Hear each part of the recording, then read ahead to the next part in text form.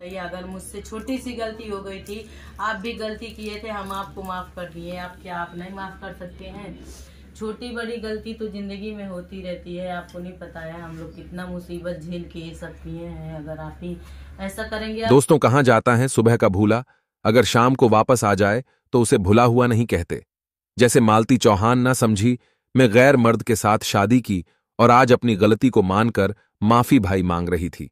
लेकिन दोस्तों वह इतनी जल्दी इतना बड़ा कदम उठा लेगी, ऐसा किसी ने सोचा तक नहीं था। जी हाँ, दोस्तों, मालती अब हमारे बीच नहीं रही। मालती को माफ़ न करने का नतीजा आप लोग देख सकते हैं। उसने अपने साथ आज क्या कर लिया है? मालती को उस छोटे से बच्चे का थोड़ा भी ख्याल नहीं था। आखिर उसके बिना वह मासूम कैसे रहेगा?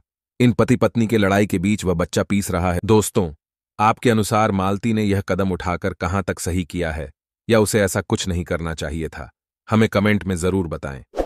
भगवान जीवन हमें भाग्य से देते हैं, लेकिन भगवान के इस तोहफे को हमें ऐसा नहीं करना चाहिए। इस पर आप क्या सोचते हैं, कमेंट में ज़रूर लिखें।